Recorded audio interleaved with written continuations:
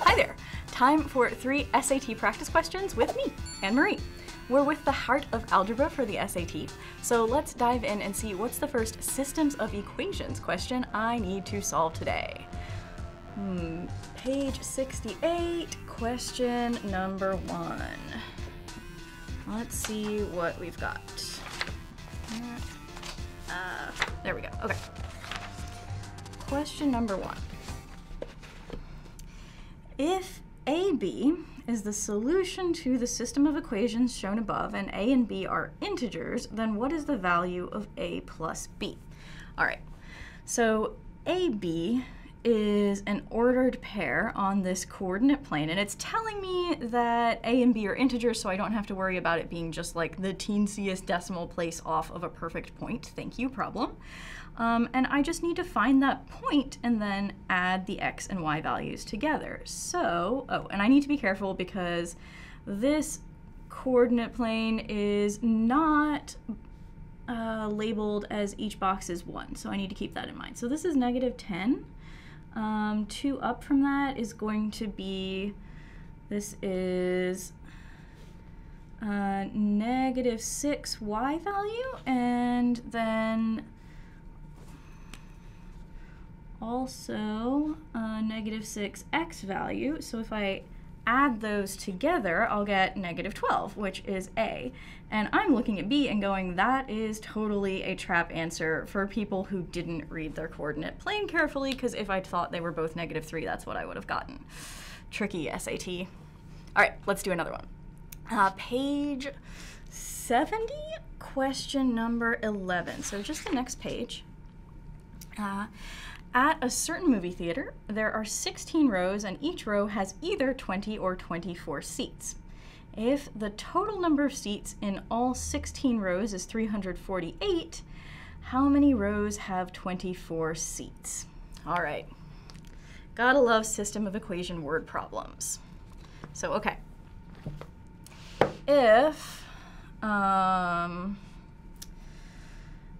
x equals rows with 20 seats. And y equals rows with 24 seats. Then I've got two equations here. x plus y, the number of rows, um, is equal to 16. And then I've got the total number of seats. So 20x, because x is the number of rows with 20 seats, times 20 will give me the total number of seats, plus the same thing with y, 24y equals altogether 348. And then I get to solve for the system of equations. And do I want to do substitution or combination? I like combination better, so I'm gonna do it that way, which means I need to multiply this entire equation by, let's see, I wanna find the number of rows with 24 seats, which means I wanna isolate y and get rid of x. So I'm going to multiply that entire first equation by 20. And what's 16 times 20? 16 times 20, 320. I should have been able to do that in my head. All right, um, so then I've got 20x plus 20y equals 320. And I'm going to subtract these two equations, which means these guys are going to cancel out. Uh, that's going to become negative. That's going to become negative. So this is 4y. Um, and subtract this, I'll get 28. So y equals 7. Now, that's answer choice A. And I can check my work if I just plug this right back in and see if it still fits. Um, I can do, then x would equal 9. Um, so if I do 20 times 9 plus 24 times 7, do I get 348? So 20 times 9 is going to be 180. 24 times 7 is 168 plus 180 does in fact give me 348. So this totally works and 7 is my answer. Awesome. All right, let's try one more. Uh, page 69, flipping back, number 6.